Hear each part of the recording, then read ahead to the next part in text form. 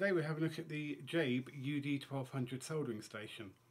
Now for any of you that have seen my previous videos and seen my previous soldering station, it's fairly obvious that this is uh, some sort of a clone of the actual JBC uh, station and the closest I can see it being to is the JBC CD-2BA. Uh, so it has the same sort of uh, holder here, the same coloured silicone uh, sponge holder there. Um, this is slightly different on the on the actual JBC one and uh, this is very similar but I think it's on the other side on the JBC one. So without further ado um, let's dig in and have a look. Inside the box we have a warranty card, a manual which is um, quite Chinese but there is some English towards the end which is uh, potentially quite helpful because all the menus in the actual line itself uh, are in Chinese. They're not actually in English at all. There's a little bit of uh, advertising blurb. Don't quite know why they include that as you know, you've already bought it. Let's see what's inside the box. A high quality travel adapter. Uh, this is the static grounding strap thing for it. A mains lead which is no good for me because um, well I don't live wherever that's used. I'm guessing that's uh, American or something like that. Another mains lead. I think that's Australian. And down here we have the all too familiar handpiece and this is about as close to uh, a JBC as you could get. I mean, even feels like the same materials. You know, everything feels, you know, exactly as it should if it were a, a real one. And we also have, so we can get these out, comes with three tips, but they're sort of odd tips. So you have this kind of like a very thin point curved one you have this one here which is again a thin point just a, a straight very fine point. Great for I guess very small SMD uh, work. And then where's the other one?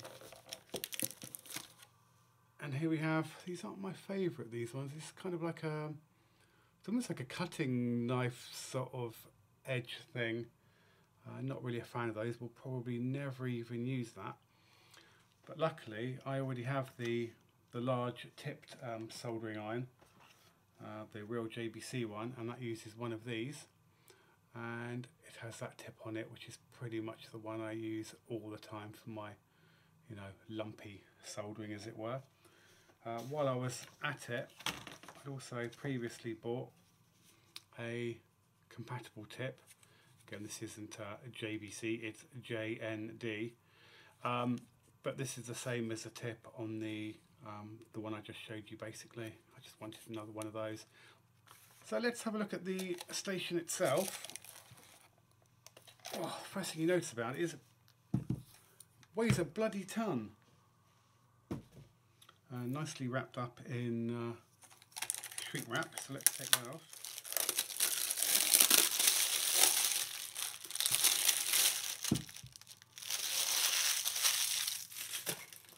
I mean, this thing feels properly heavy. Properly heavy. It must be, no, what does it say? On the box it says 2.85 kilos. And uh, yeah, this certainly, it certainly feels it. It doesn't feel sort of like a cheap soldering station. It feels pretty good quality. And I suppose I ought to check the buttons. Yeah, they're okay. At least they work. Unlike the first uh, of the new JBCs I got, where one of these buttons was actually stuck down. Let's peel, peel that off. Oh, it's better already. It's made it for me. Um, so yeah, it's really, uh, it, it's certainly from what it looks like, uh, looks unbelievably good. Let's plug its handpiece in and uh, see what that's like. And I'm also going to put the new tip I got in the handpiece. And on the back we have our anti-static connection there. This is where the handpiece plugs in. Standard IEC socket there.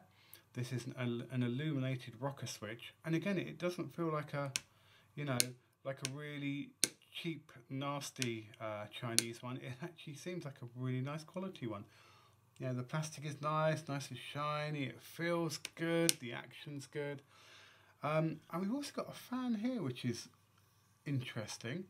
Um, it'd be interesting to see what that's like because I don't think the JBC stations have a fan on. Does look like we got a little bit of plastic missing here. I'm guessing um, that got knocked out during um, transport. I'm not too bothered about that as it's at the back of it. It won't uh, trigger my OCD or, or anything like that. Um, and that's really all there is to it. Let's put this tip in and uh, I think plug it in and power it up. Okay, let's power this on and uh, see how quickly it heats up.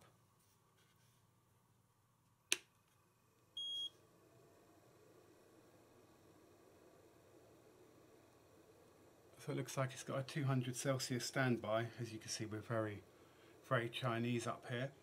Um, let's see if we can see what it's set to. So it's set to set to 350. That is what I normally use my irons at, and I think that's what JBC recommend you use their irons at. Obviously, I'm aware this isn't a JBC, but whatever. Uh, let's pick that up and see how quickly it heats up. Okay, so that is pretty pretty swift. To me, I think that is on par with with how fast the JBC heats up. That is that is something else. That is amazing.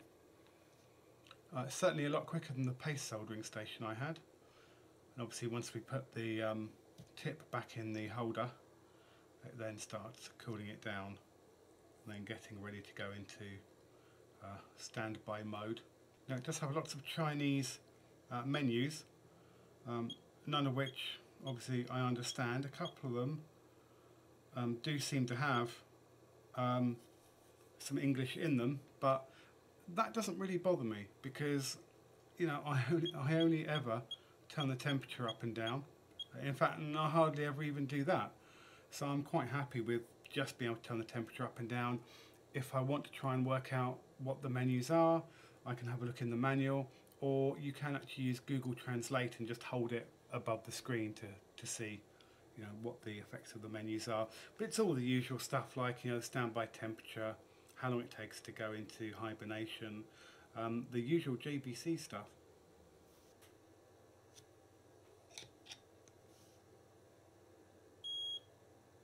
And you can hear the fan going now, and that stays on until it goes into hibernation. So I wonder whether it's possible to um, translate that writing into English by modifying its EEPROM. Um, depends, I suppose, whether it's inside the, the microcontroller or whether it's on a separate ROM. But I might have a look at that in another video. I think what I'd like to do with this video is, um, well, the nice unboxing, obviously, that I've already done, but also perhaps a side-by-side -side comparison between the JABE 1200 and then my new uh, JBC soldering station. So why don't we have a look at that? And so what we're going to do now is a, a thermal capacity test.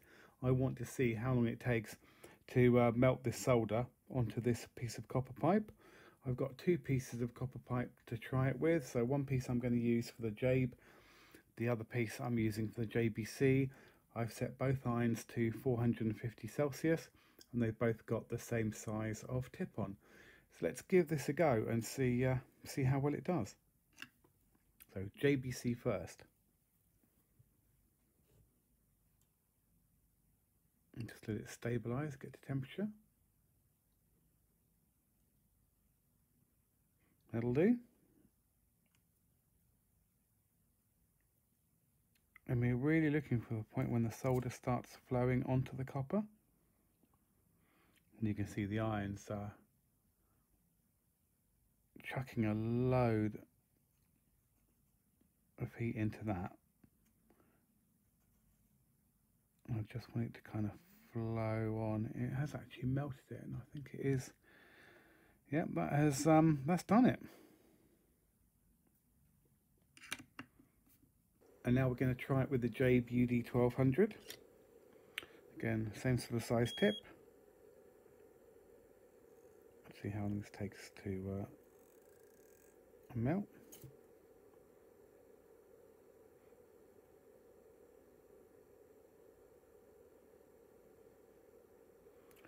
Again, we can see that the Jabe is uh, trying to push plenty of heat into that tip. Still not quite there yet.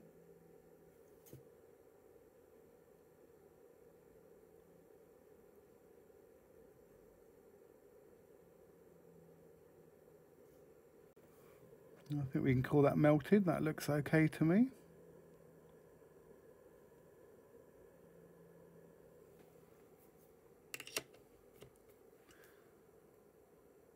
So I don't think that was quite as fast as the JBC, but it still did a great job um, considering that it's soldering uh, a great big lump of uh, copper pipe.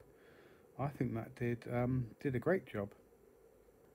It's one of those things where, you know, because you're kind of melting it with the iron, it can be a little bit difficult to see when the solder starts melting. So it's going to be a little bit approximate, but at least it gives you an idea as to the power of this station and I'm really, really impressed with the Jabe.